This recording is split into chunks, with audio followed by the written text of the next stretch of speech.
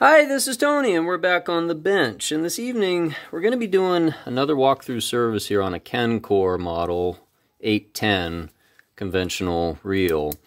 Uh, you know, it's in good shape. There's nothing wrong with it. It looks like it is missing a, a, screw down here on the frame, but outside of that, you know, it's it's in pretty decent shape. I recently serviced this reel uh, hence uh, the walkthrough part. So we're just going to get into all the take apart steps, the cleaning, lube points, the usual thing. I don't know a lot about the company of Kencor personally, but it's, uh, you know, it, it looks like it's very similar in style to an old school Penn reel, essentially, you know, the way that it's designed here. So got some bits and pieces here. And I was not able to locate a schematic for this, and so I'm just going to kind of lay these pieces and parts out here carefully so that I remember the orientation. But I encourage you to take pictures, you know, if you're working on reels or take videos, things of that sort. Watch this video or any of my other videos. That's what they're there for. Okay, so you know, we've got these pieces and parts laid out here. You know, you want to make sure that you do your cleaning, of course, you know, when you're working on any fishing reel for that matter. Okay. And then we've got some frame screws here that need to come out. Pretty easy to do with a slotted screwdriver. But yeah, if you're into doing reel maintenance and restore, reel repair stuff, and you know, you, you like these videos, I'd encourage you to subscribe to the channel and make sure you hit the notification button. And, you know, if you have questions along the way, feel free to drop those in the comment sections, and I'll try to get back to you as I can. But yeah, I, I like doing these walkthrough videos a lot after I've actually serviced a reel, because it just makes it just makes it a lot easier because a lot of the reels that I end up working on, they need a lot of cleaning work done usually. Uh, that's not the case with this particular reel. It's, it's actually in great shape. But a lot of reels, they just they end up needing a lot of extra extra care and work, and that really bogs down a lot of the video time. But I do have separate videos on just uh, cleaning and polishing uh, reels and different reel pieces and things like that, and you can check all those videos out on the YouTube channel as well. Yeah, Kencor, uh, it appears to be a Japanese company. It says made in Japan here on the bottom. So it tells me a little bit about the reel, at least. But yeah, I'd say this is probably a, I want to say like a mid-80s vintage reel, more or less. It's got a plastic spool. And you want to make note that there's two shorter screws that go at the bottom here in these two holes for the base. All right, and these others are a little longer, okay? I like to keep the parts trays nearby, of course, as always. All right, so we've got our handle side off, okay? And before we get into that, we're just going to have a look here. All right, so very simple uh, work to do here. You know, you want to clean out this inside, you know, take some penetrating oil, clean out uh, that whole area right here, you know, with a little, uh, you know, toothbrush or something like that. Okay, clean it up really good. And then uh, when we go back, we're going to go back with some Penn Precision Blue Grease and just do a little dab right there on the bearing and then just a little dab there on the clicker tongue. That's all you need to do. And then outside of that, you can take some uh, reel oil. Um, I use uh, Penn Precision Reel oil and also Reel X. Just make sure they're oils and greases that are meant for fishing reels, okay? But you can use either um, one of these, okay, for this purpose. I like to do a little bead of oil on these threads. You could also substitute this with a little bit of WD-40 or something like that, you know, uh, on these threads, all right, but not on uh, bushings and, and bearings and, and things like that necessarily. Uh, I, I like to try to stick with oil as much as I can with those things, okay? And so I like to keep these threads well lubed with just a little bead of oil, all right? A little bit goes a long way, all right? That section is done. You want to clean off the spool shaft good with your 4 steel wool that you can get at any hardware store. Real simple. And clean off that surface and then take your, your reel grease and just do a dab there and a dab there. All right, and you're good to go. Put it back. Okay. That whole section of the reel is done. So we're going to stick that off to the side and now we're going to focus on the handle side. Okay. Now there's one thing to note here and I'm going to point it out right now. You want to make note of the orientation of the dog spring and this is a little difficult to see here on camera. But there's a little wire dog spring right here. Okay and it needs to go back just right, right? And, and what that dog spring does is it applies tension to the dog. You can see it clicking there as we turn the bridge shaft here, and you need that uh, to A, not go flying out on you, okay, and then it needs to be in the right orientation when, when you put it back. So you want to make note of the orientation of this. Take a picture, uh, you know, or whatever it is that you need to do, make a note uh, that you know it needs to be just like that. Okay, so I recommend that you you cup this with your hand, and we got four bridge screws that we're going to take out right now. Okay.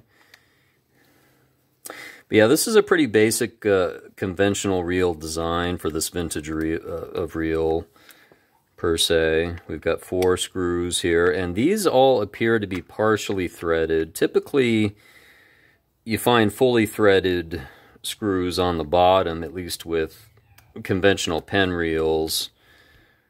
This Kencor happens to have just four partially threaded screws all around, so that's just one little thing to note. I do not have any sources for parts for any Kencor models, for that matter. This is the only Kencor reel that I've I've actually ever encountered. I'm I'm aware of the the company, but have never come across a reel made by them yet until now. So take our last screw out here. Sometimes you need the needle nose to pull these out when they're a little stubborn. Okay. Just going to put these up here kind of out of the way. All right, and then at this point, Okay, once again, you want to make note of that dog spring, okay, and see where it's at right there. All right, a little, little difficult to see on camera, but we're going to take all this apart now, okay. Got our drag stack and main gear. We've got all these pieces and parts here. And I'm just going to lay these out. You know, once again, I've already cleaned this reel up, and so I'm not going to spend a bunch of time doing all the cleaning and everything. But essentially, you know, I'm going to talk you through it. All you're going to do is uh, you're, you're going to take some WD-40 or some penetrating fluid to in here. Take a toothbrush, clean toothbrush, scrub it, clean it. Take some Q-tips and clean out, you know, the inside of the bushing there and all these crevices just the best that you can.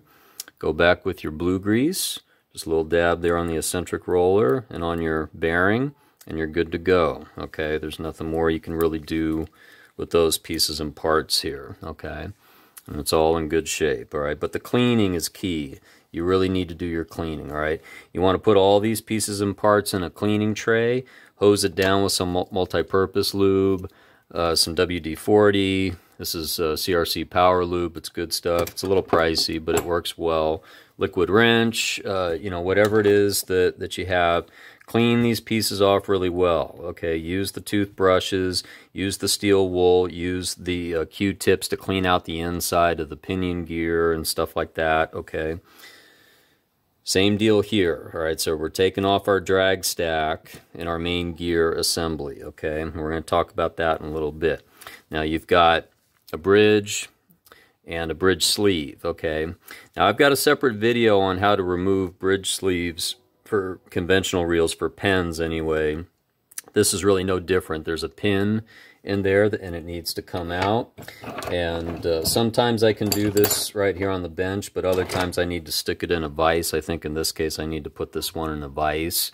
So I'll, uh, I'll, I'll do that quickly here off camera, just so you can see what this actually does look like and, and how you can service this, but you want to gently put that in a vise. You want to take a, a small nail punch like that, little ball peen hammer or small hammer, okay, and then you just want to tap out that pin, gently.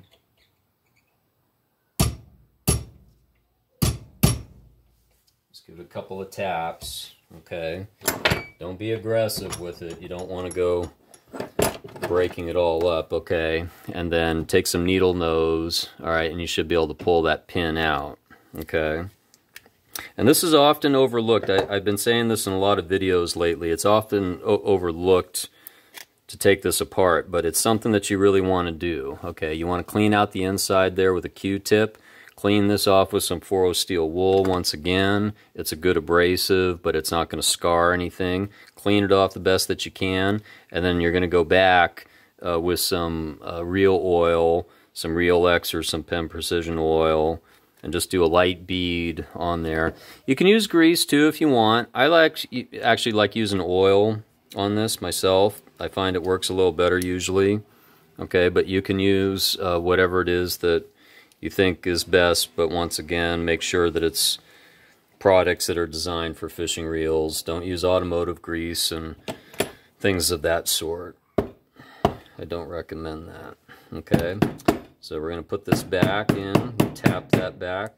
Now you don't want to mess up these threads that are on here, so try not to mung those up with the hammer, okay? Just try to hit the flat part here. And that needs to be nice and flush, okay? So we're good there. Okay, now we've got our drag stack, all right? And this is a pretty typical drag stack. You want to clean off these washers one by one. It looks like we've got some, some leather washers in here.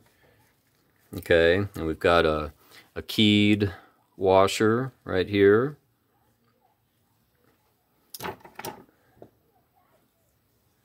Another leather washer, a metal washer, and a final leather washer here. And then also note that there is a thin, and it's actually a metal washer, but it's a very thin one, and it actually goes underneath uh, it, it's a spacer washer here that goes un underneath the main gear, apparently. So you just want to make note of that. Okay. And we can actually put that back on right there, like so. Okay. You want to clean out these teeth really well. Uh, you, you know, you can use a brass wire brush for that. Don't use steel. Just use a brass wire brush. Spray it down with some penetrating fluid. Clean those teeth out really, really well. Okay. Get any gum or gunk out of there. Okay. Uh, you know, if you need to soak it in some penetrating oil for a while and then take, you know, like a, a slotted screwdriver and clean them out one by one, sometimes I've had to do that. it's actually that dried up, and that's okay. All right, but get it clean, get the inside of it clean. You're going to put that back into place like so on top of that spacer washer. And then you're going to clean off all these washers, of course, and you're going to put them back in sequence here one by one. So you got a leather washer, you got a metal washer, leather, and then keyed washer. Okay. And then another leather washer going back in there. And then one more metal. And that's it. That's your drag stack, okay? At this point, take a little bit of blue grease and gently get that on these teeth on the main gear here okay? You don't want to get it on the uh, washers for your drag stack. You only want it on the gear itself, okay? So that's all good to go there, okay? We've cleaned off all of our pieces and parts, okay? And they're ready to get reassembled, okay? So we've got a couple of springs here, pinion yoke springs. I'm going to put those back. All right. And now we've done our cleaning. All right. Sometimes I take some 4 steel wool to this pinion yoke, and that's cool, or the eccentric jack. And then you're just going to go back with just a little bit of blue grease there. And then we've cleaned up our pinion gear, of course.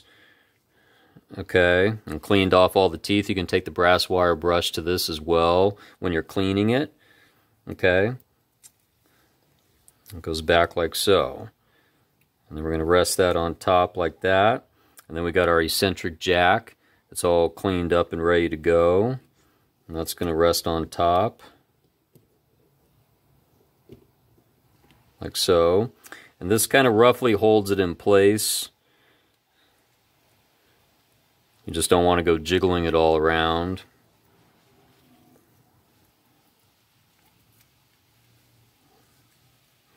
And then at this point, I kind of like to hold it down with my thumb like this and so it doesn't really go anywhere. Okay, now here's that dog and that dog spring that we were talking about. Okay, very important that we we get that back in correctly. Okay, and this is where it gets a little tricky now. So we need to put the main gear back in and the bridge assembly and the drag stack first. Okay, and we're gonna kind of we're gonna kind of do a couple of different things here all at the same time, more or less. We're gonna we're going to get these pieces lined up here. Like so. And then what we have to do is we have to get the dog in the right position here. Actually, now that I think about it, we have to get the dog spring in first, I believe.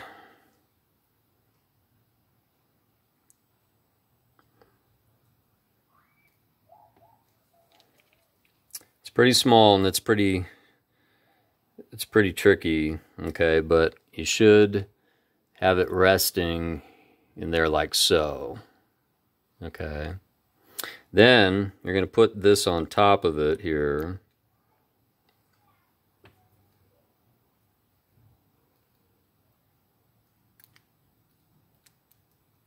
Like so. Then you want to take one of these screws to go through the two of them to hold it in place.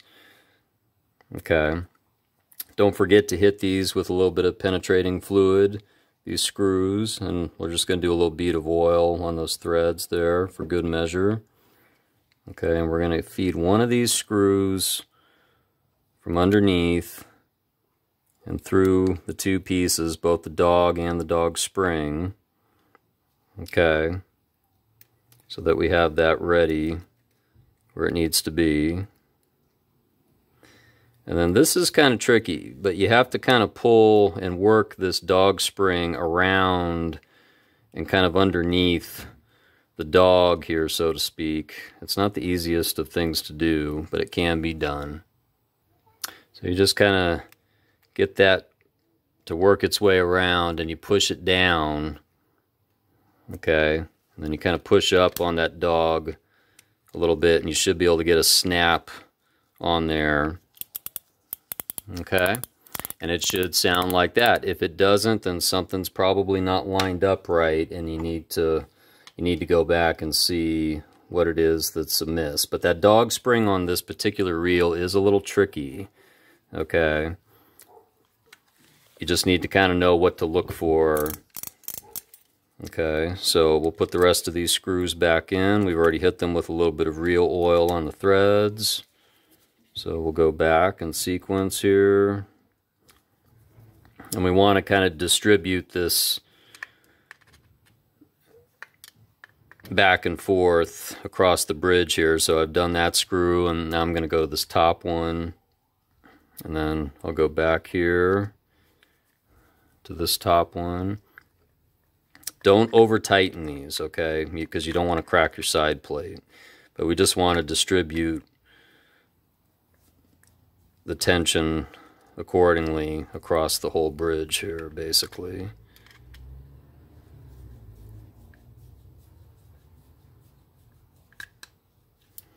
Make sure this is still working right, and it is. So now we'll just do like an eighth of a turn here, basically, eighth to a quarter.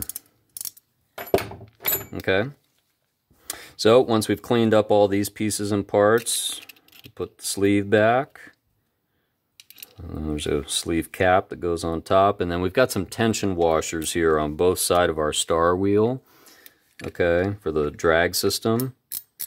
And I actually like how how this, uh, unlike some of the older Penn models, uh, you know, it's got these flat flat tabs here on the on the wheel, which is kind of nice. Makes it kind of comfortable to work with. Now this can be tricky sometimes. Sometimes uh, you got to take like a there's there's a slot in here that you can rest a stubby screwdriver in to kind of get this started sometimes. And I find sometimes that's helpful.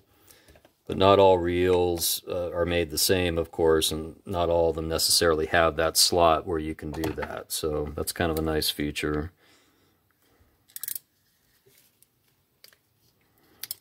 Just tighten this up a little bit more. We'll put our, our tension washer in here. Clean up our handle. It's a nice orange Bakelite torpedo style handle.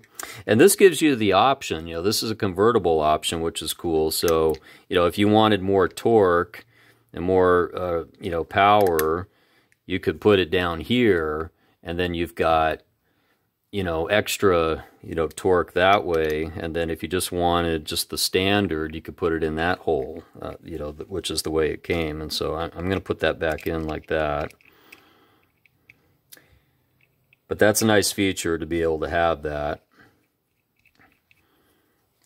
Normally you got to pay extra for that on a lot of reels to get to get that extra extra force that you you're looking for.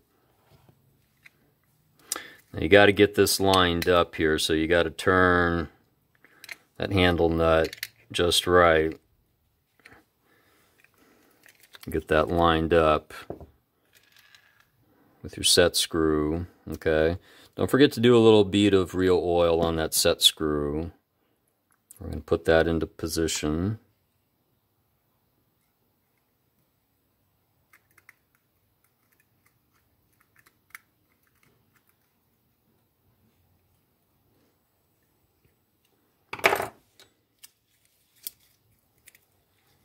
Okay.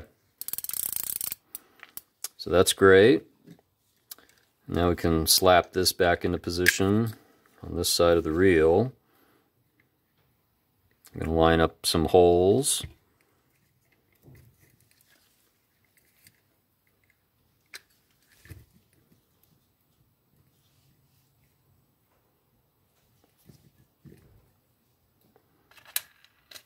Remember, we've got two shorter screws that go at the bottom.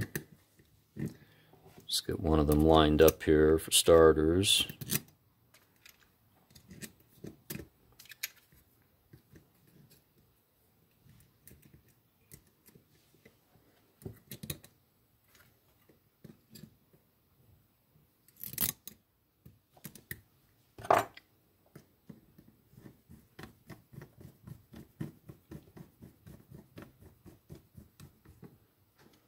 And we'll just kind of go back and forth here.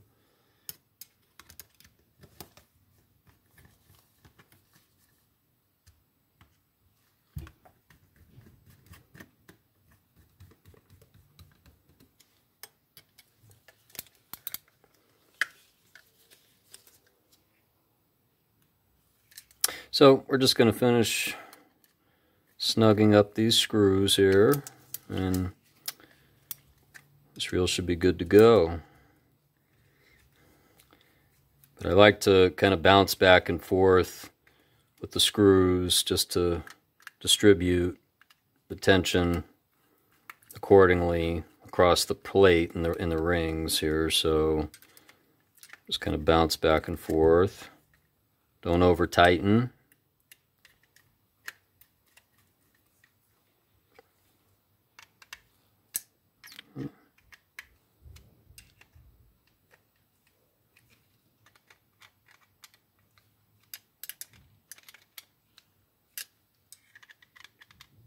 Okay, so it's pretty smooth operator so far. Let's check our free spool.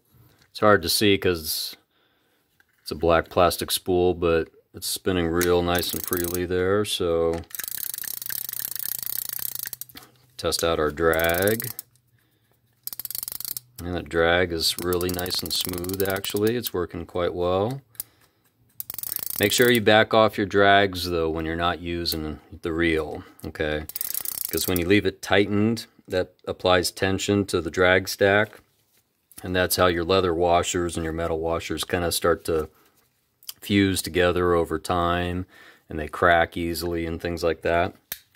Try out our, our clicker.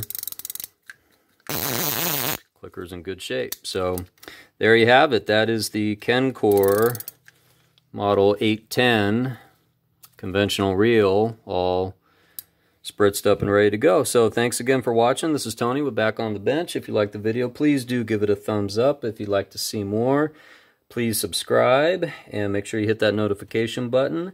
And if you have any questions, please feel free to drop those in the comments section and I'll uh, try to get back to you. Thanks again for watching. We'll see you next time.